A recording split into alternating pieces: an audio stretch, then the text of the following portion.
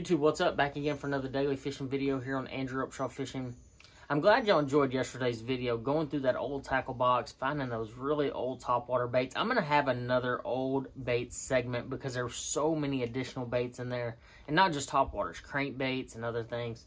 So, but today though, I'm going to dive into a topic that I've never talked about on this channel. And that's fishing a tube. And I'm not talking about flipping a tube. I'm talking about fishing a tube for smallmouth and show you how to fish a tube for largemouth that maybe you did not know. Um, but hey, real fast though, if you haven't subscribed to this YouTube channel, I really would appreciate it if you did.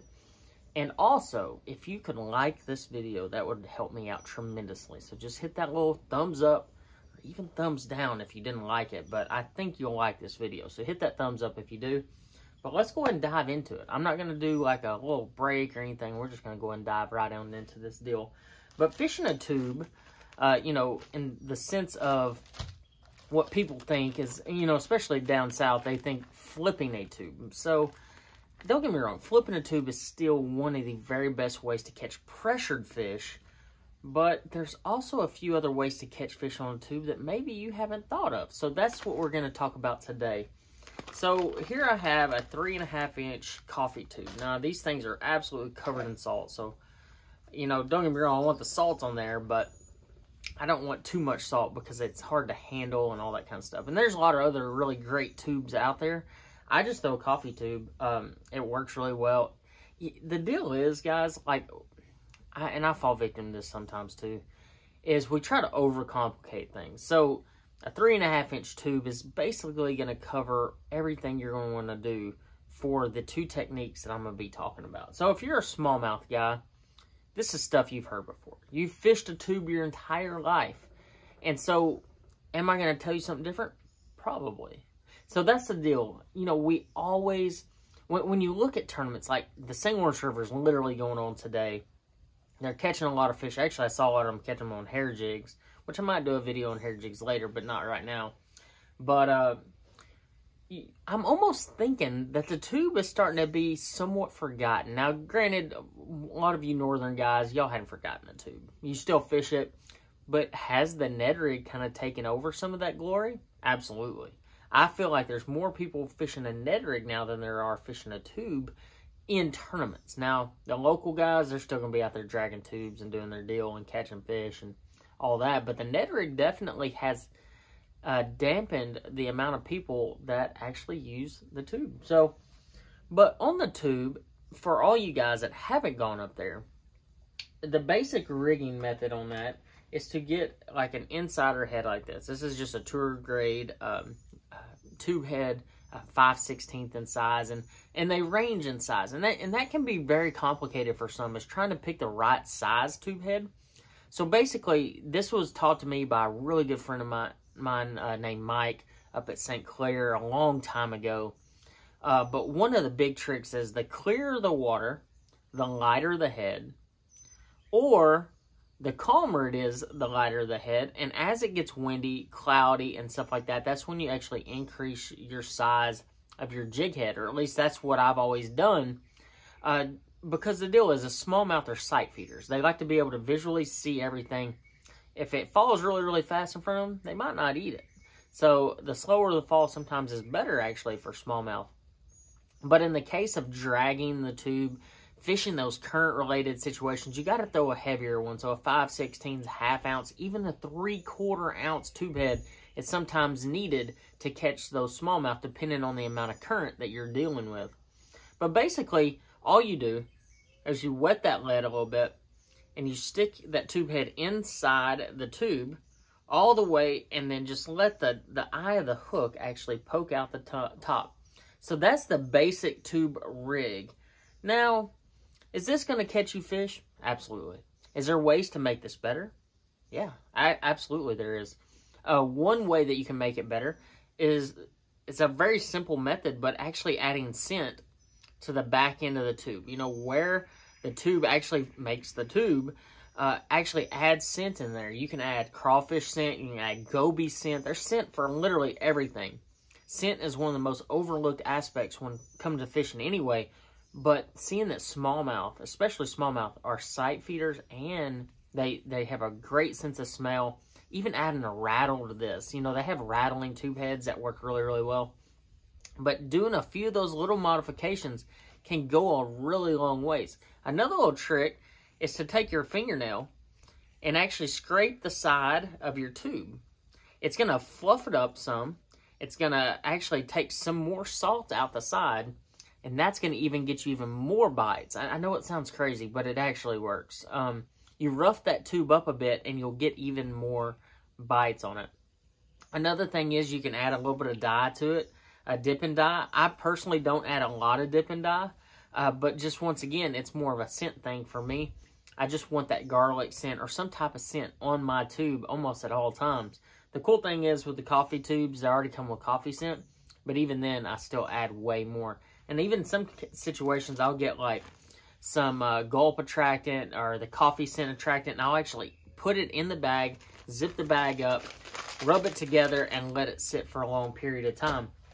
And that'll get that thing, it'll soak in all that additional scent, and man, like when you pull it out, it's just like slimy and gooey, and like you don't even think a fish is going to eat it, but they eat it immediately. Uh, when it comes to fishing the offshore tube for smallmouth, you know, line size, everybody gets on this big, uh, and I do sometimes too. Like, I get really caught up on what size line I need to be fishing six pound, five pound, seven pound, eight pound, whatever. When it comes to fishing a tube, I fish like 10 pound test. Um, especially for hard fighting smallmouth, you really, I'm not saying you don't have to have six pound line, and there's certain situations that six pound line is 100% going to get you more and bigger bites than 10.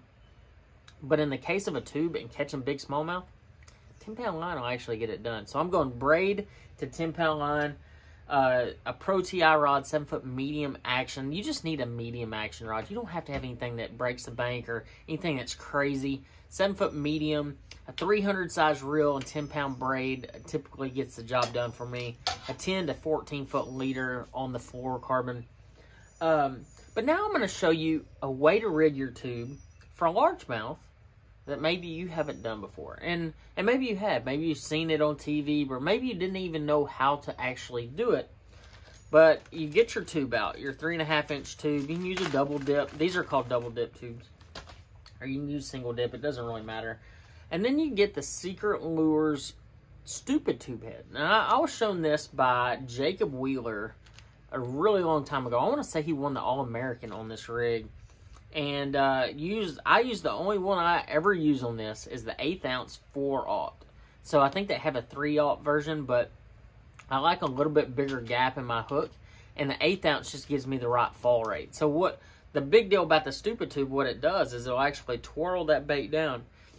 Now, in some situations, people are going to say that the, the Ned rig will be better, and maybe you're right.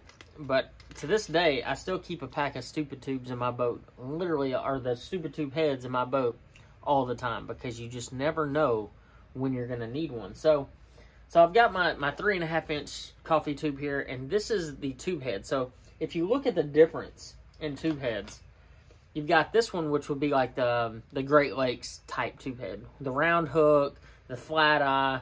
Let me set this tube down so you can see better. But this is the different version. So this is the one that you throw up north, and this is the one that I'm going to throw around cover down here, and even up there too. I've caught them on it up there. But around cover, this is the one I'm going to use. It's a big wide gap hook, and you can see the difference in the hook uh, there. But so what do you do is you take your tube, like this one, and you you enter the bottom of the tube. So here's the top of the tube. Here's the bottom of the tube where the skirt is. You go in the bottom of the tube with the hook, just like so, and you come out about I don't know, about a half inch down the tube body. You see how my hook's pointing out here? Okay. And then you take this tube, you, you pull the jig head up to where it stops. So now it's stopped right there. And you actually just twirl it that way. You poke out the eye. And then you re-enter the tube from the bottom, just like so. And you Texpose it, just like that. And you want to make sure it's straight. You want to make sure it's in the middle of the body. But this rig right here is virtually weedless at this point. You can skip this tube around boat docks. You can skip it around um, walkways. grass, timber. You literally can fish this thing in and around just about everything. If you're getting really heavy stuff, I just laid that hook on there just like that and pull it up. But if you're getting really heavy stuff, you can even expose it just a bit. Uh, but that'll actually make that thing virtually weedless. You can literally fish this thing around everything. So if you're dealing with a big bluegill bite, or maybe everyone in the tournament is throwing a shaky head or a Ned rig, you can pick up this stupid tube and you can catch a lot of additional fish. Once again, 10 pound line tends to be my go-to with this because A, I got to set the hook a bit harder, and uh, B, I'm typically fishing around cover, so I don't really want to fish that super, super light line. In this situation, I'll still throw that 7-foot medium, but I will tighten my drag down a bit more because you really do have to set the hook. Um, because the deal is, especially if you have to rehook it, you've got to be able to drive that hook home. But that's a lot of times why I'll leave it just pushed up against there because when they bite down on it, they're typically hooked pretty good. Um, you will lose some more on this because it's not 100%, you know, like the open hook tube version. But when you get in situations where you don't have that option, this is definitely one of those tubes that you need to have tied on. As far as colors go, I keep it pretty basic, guys. Um, like a, a goby, we have one called Gobylicious that has like a purple bottom or like a light a light white purple bottom with a green pumpkin top. I throw green pumpkin. I throw this one here too. I think this one's called Dark Melon Goby, which you can't go wrong with like a copper and purple flake up north. And even down here, this is a great color option as well. Guys, I hope you learned a little bit about fishing a tube in this particular video and understand the fall rates and a few different methods of rigging this thing that'll help you catch more fish the next time you're on the water. If you haven't yet, make sure you hit that sub button and like the video if you can. That would help me out greatly. I hope you enjoyed this video, and I'll see you on the next one.